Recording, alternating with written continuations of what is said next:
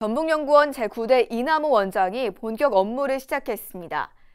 이 원장은 인사청문회에서 건강한 제이싱크, 더 특별한 전북을 경영 비전으로 제시했습니다. 이 원장은 도의회 인사청문회에서 외부에 휘둘리지 않는 독립된 연구기관으로의 운영을 밝혔습니다. 이 원장의 임기는 앞으로 3년입니다. 이 원장은 제17대 전북대 총장과 거점 국립대학 총장협의회 회장 등을 역임했습니다.